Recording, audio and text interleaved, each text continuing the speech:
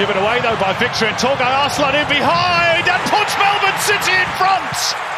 Less than four minutes on the watch.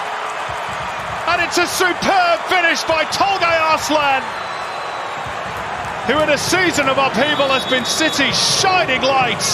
And he's into double figures for the first time in his lengthy career. What a start for City.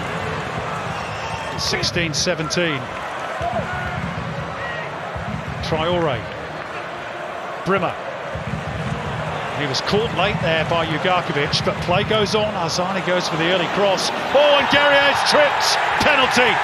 There could be no other verdict. And there's about 5,000 victory fans behind that goal, willing him to square the ledger.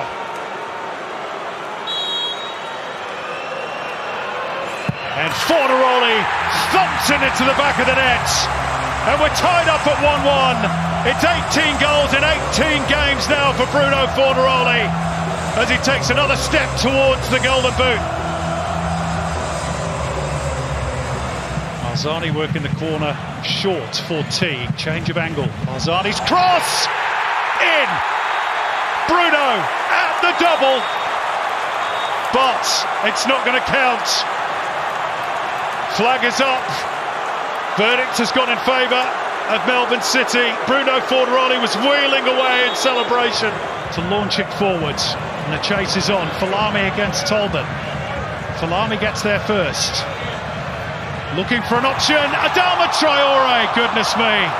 Big chance, Melbourne victory. Teague once more. More conventional this time. It's in! Damien Da Silva!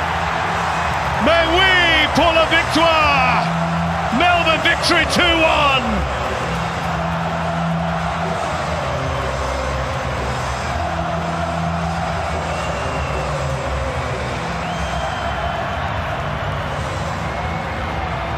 But what about football? He comes away with the ball. And it's too strong for Veladon. And slides it through for Marin Jakolis. The foot race is on. Jakulic gets there first. Arslan! Oh, what a chance! What a chance for Melbourne City. And he spoons it over the bar. Incredible.